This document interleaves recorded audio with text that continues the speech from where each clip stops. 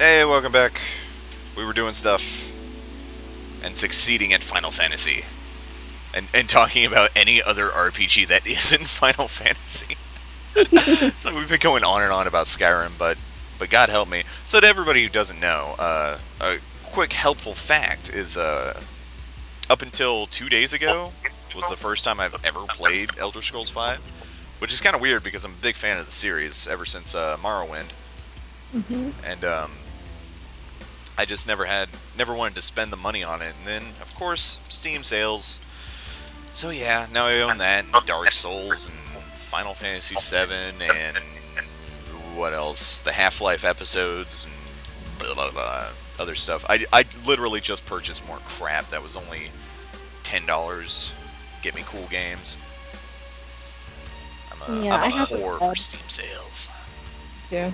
Um, I have to sad that I bought all those Tomb Raider games and can't play them Yeah. because I need a controller. yeah, yeah. Th these old console games, like right now, I'm playing on a controller with this, so yeah.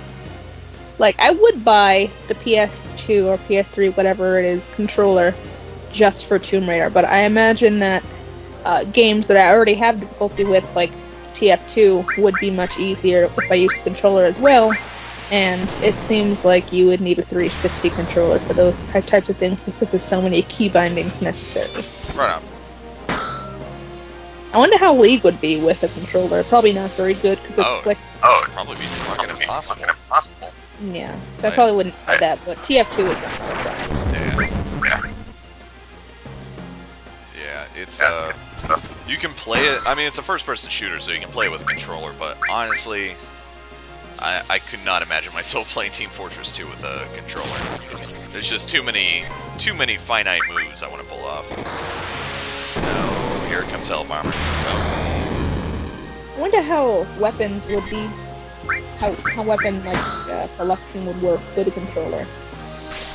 what do you mean?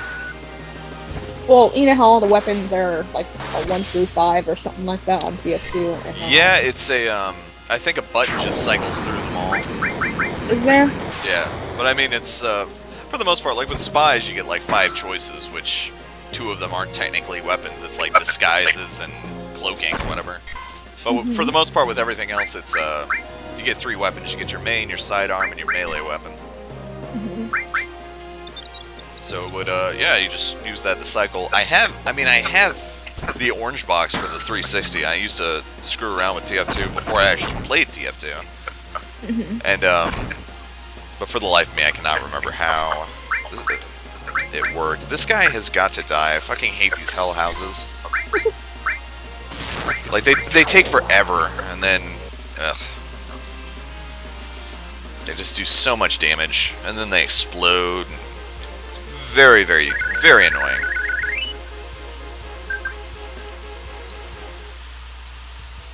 Okay. So anyway, an update for the game for those not paying attention. We're going to be heading over to Wall Market, which is kind of my favorite part in Midgar. Next to the tower, the uh, tower climb, which is kind of fun. There's a lot of cool stuff to do in the tower. But uh, Market is, I always thought was pretty cool. In terms of Midgar stuff.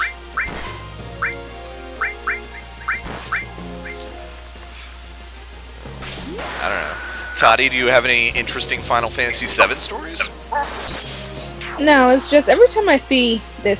How do, how do we describe this? Uh, turn-based action? How do we? I remember. Yeah, I asked- mean, I mean, right now I think it's active turn based, in which it's like real time, but it's also turn based.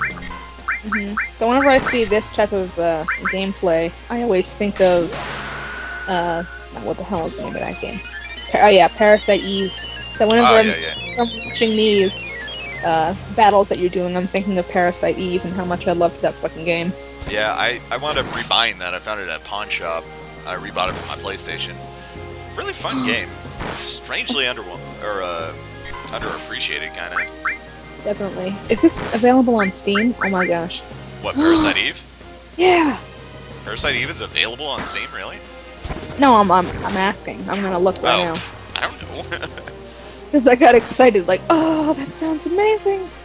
Yeah, I well, I mean, there's a lot of PlayStation games out there for it, so. But in terms of like, like with Final Fan, this Final Fantasy version is pure is the uh, computer version of it, not the PlayStation port, which is why the graphics look all fancy and high definition.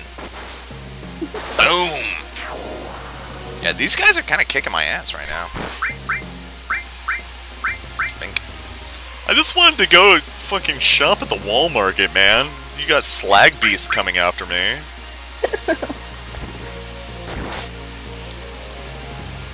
It, it brings me back to Skyrim when I'm just kind of walking across the road, and it's like I see all these travelers going from town to town or whatever, but I also run into like wolves and spiders and big bandit buildings that they just automatically attack you. I'm like, how the fuck do these people get anywhere? I'm a I'm a stalwart hero over here, and these guys are just some random nobodies. so I, I like to imagine if I followed them to a place that had a bunch of bandits and wolves and spiders and stuff, they would die every time. Oh yeah. It's just strange programming.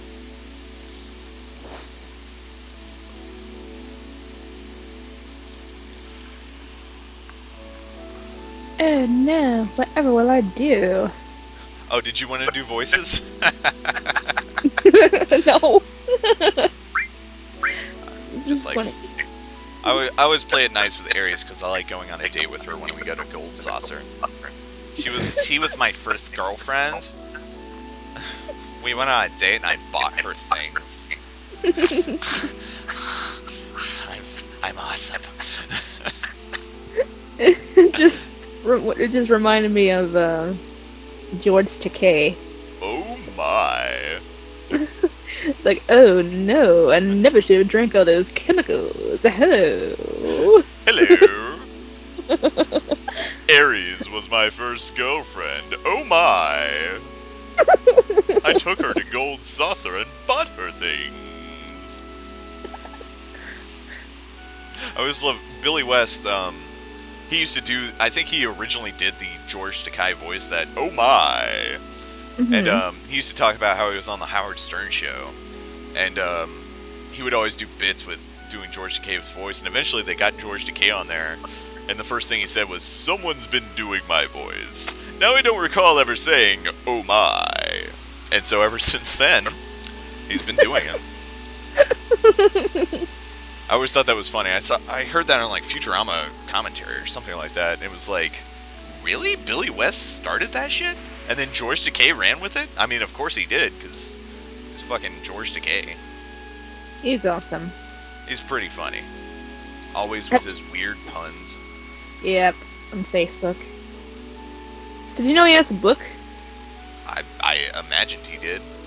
It's called Oh My, There Goes the Internet. Oh, is that the one? Man, I remember there was one where it's talking about their li- their career on Star Trek and how they just kind of rag on Captain Kirk for being kind of a prick Mhm. or something like that. I can't remember if it was George Takei or somebody else.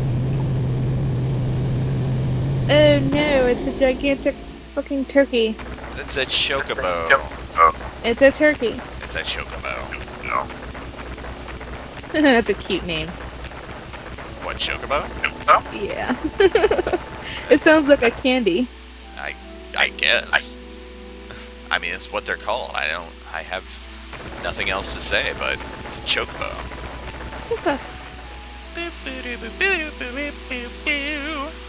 That's chocobo music.